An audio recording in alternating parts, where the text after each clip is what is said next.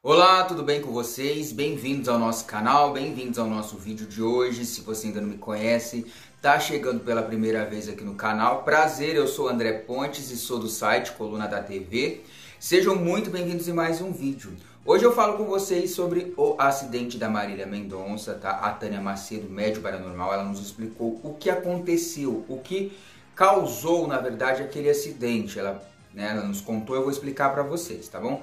Agora eu quero lembrá-lo, se você ainda não é inscrito aqui no nosso canal, tá chegando pela primeira vez, não é inscrito ainda, ó, se inscreva aqui, ativa o sininho, passa aqui embaixo, dá seu like, o seu joinha, para não perder nenhum vídeo, porque aqui no canal vocês sabem que tem vídeos novos, informações novas para vocês, então fiquem ligados aqui, se inscreva para não perder nada. A história é a seguinte, gente. Ontem, sexta-feira, completou uma semana né, do acidente da Marília Mendonça, infelizmente que, fiz, que fez não só Marília Mendonça, mas todas as outras pessoas perderem a vida. E aí conversamos com Tânia Macedo, né, que é médio paranormal, astróloga, numeróloga, ela também é terapeuta, né? Tem várias características, várias profissões, várias funções aí. Inclusive, quem quiser fazer uma consulta com ela, uma consulta numerológica, fazer o seu mapa numerológico, entender o seu passado, o presente e ver o que vai acontecer aí no seu futuro, é só entrar em contato com ela no telefone que aparece aqui na descrição do vídeo, é o WhatsApp, tá? No final do vídeo também eu deixo o telefone dela.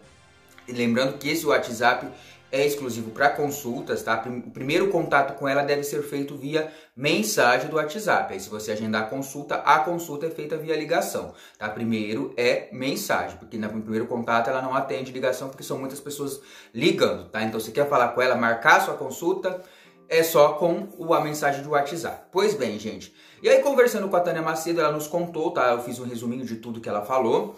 E uh, inclusive a gente vai fazer uma live agora nos próximos dias, ela vai explicar tudo com mais detalhes, mas agora eu vou falar um resumo. É o seguinte, o que ocasionou, o que causou o acidente da Marília Mendonça é uma das perguntas que as pessoas mais fazem. Pois bem, a Tânia Macedo disse o seguinte, que o que causou a queda do avião foi o que? Foi uma pane no avião, tá? Ela disse que o avião já estava com problema, ele saiu com problema, da onde ele saiu, não deveria ter saído porque estava com problemas, tá? Ela falou que ele bateu na torre, naquela fiação que eles falam que bateu, que a TV vem mostrando, por causa dessa pane, tá? Ele não bateu na torre e caiu. Ele estava com problema, deu uma pane e acabou batendo na torre, tá?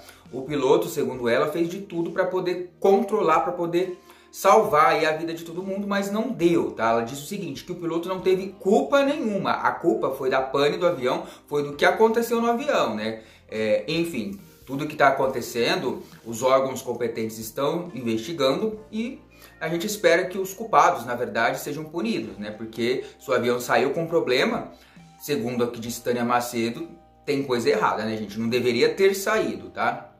Outra coisa interessante que ela nos contou, que todas as pessoas que estavam no avião é, viram que o avião ia cair, sentiram a queda, é, perceberam, né? Então ela falou que inclusive eles começaram a se despedir, um se despedir com o, com o outro lá dentro do avião, porque sabiam que ia, né, infelizmente morrer, né? Porque às vezes a pessoa, o avião começa a cair, a pessoa apaga, né, e não vê a queda ou não sente a queda. Tem essa hipótese, mas nesse caso ela falou que todos viram a queda do avião, sentiram que ia morrer, entre eles começaram a se despedir, tá? E a questão da Marília Mendonça também, muita gente questiona, ah, era a hora, dela partir? A Tânia Macedo disse que sim, tá? Era a hora, dela partir, ela iria mesmo, tá? Ela falou que o, o tempo de vida dela aqui na Terra já havia sido cumprido e ela poderia ficar viva até março do ano que vem, no máximo, tá, gente? Isso que eu tô falando não é minha opinião, não é opinião da Tânia Macedo, a gente tem que explicar porque geralmente quando a gente fala desses assuntos mais polêmicos, chegam muitas pessoas novas aqui no canal, né? Tem aquelas pessoas que acostumam,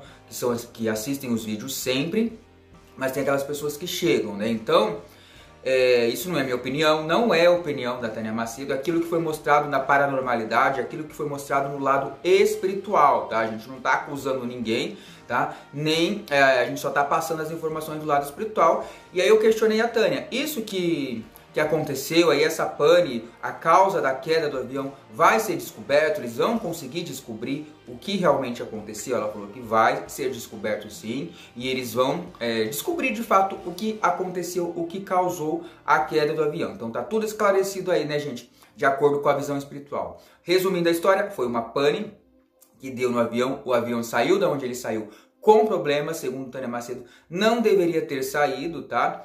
E todos os passageiros, infelizmente, viram a morte, né? Viram que o avião ia cair e sentiram, perceberam que iriam morrer, tá? Então foi uma tragédia mesmo, né, gente? Então é isso, tá? Eu fico por aqui. Fiquem ligados aqui no nosso canal que eu vou trazer mais informações sobre esse assunto, outros assuntos também.